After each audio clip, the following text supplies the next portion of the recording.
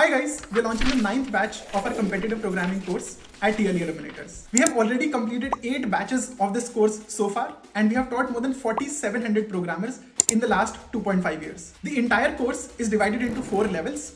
Somebody who doesn't know a programming language can start from level 1 while somebody who can solve even 3 problems in a Codeforces Division 2 contest can directly start from level 4. Each of these 4 levels is a 12 weeks long program. Now in every single week, we have 1 to 2 theory classes and then after that, we also provide you with daily curated practice problems to help you develop consistency and also master the topics that have been taught in the classes. Along with this, you also get a gamified progress tracking feature on the website, which directly syncs with your Codeforces account and helps you keep track of your unsolved and solved problems from the course. Now, in case you're stuck on any coding problem from or outside the course, we provide you with instant doubt support by our high-rated competitive programming mentors. The doubt support has been our most loved feature so far, and we have resolved 35,000 doubts till date. This time, we have also introduced a new feature in TLE, which is the video solutions.